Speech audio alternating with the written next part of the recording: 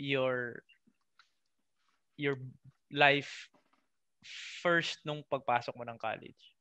Hmm. Nung at nag-champion ka, di ba? Champion ako high school lang, UAP.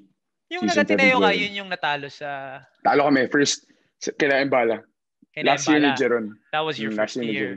Yeah. How was the How was your Ah, mental mental self? hindi. Yung, siyempre, galing ako high school, di ba? Sabi ko, uy, gusto ko lang makapasok na ano, gusto ko lang makapasok ng, Lineup lang. ng oh, tapos syempre UAP college. Tapos sabi pa nila kay, oh, bilang itong kotse, ah, makapasok ko lang. Sabi, wow. Tapos, okay. Tapos, eh, sakto, September, ano yun, di ba September lagi UAP? Eh, birthday ko rin. Eh, yun, gulat siya eh, pasok ako eh. Gulat rin ako, bro. Ah, Alam mo ba't ako napasok nun? Alam mo bakit? Si Tyler, Tyler Tio, Ah, yun yung taon na yun. yung taon na Hindi siya nakalaro. yung papers niya. Oo. Oo. So, ikaw yung pang So, dapat siya- 17. 16 yun, di ba? So, ikaw yung Yes. pang 17. So, nagkakotse ka Mhm. pa dahil kay Tyler.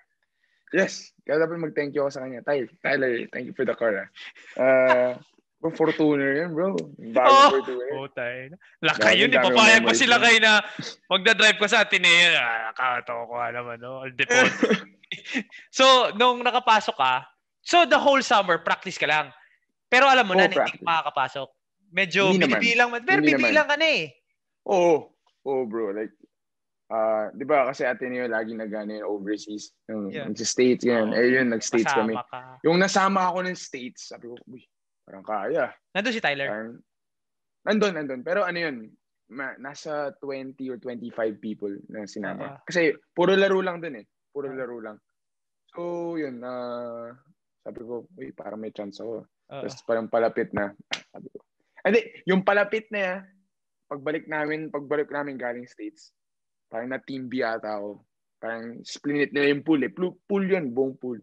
Siyempre team B. Ang ganda na pinapakita ko sa team B nun, bro. Sa Ganda talaga, like, No, si, si Coach Yuri yung Si coach Yuri, oh, namin. tama, tama, tama. Tapos yun, parang, syempre, nag-train na ako with them. Tapos parang one day lang sinabi, ni, sinabi nila, go back to the first group, to uh, Hmm. Group A. Mm. So, ayun, parang from there, uh, pero ako hindi talaga ako kinakabahan nun. Hindi ako kinakabahan nun. I mean, pag hindi ako nakuha, okay lang sa akin. Kasi, ano, Bonus. gusto ko rin mag-team B. Oh. Sarap kasi sa team B. Eh.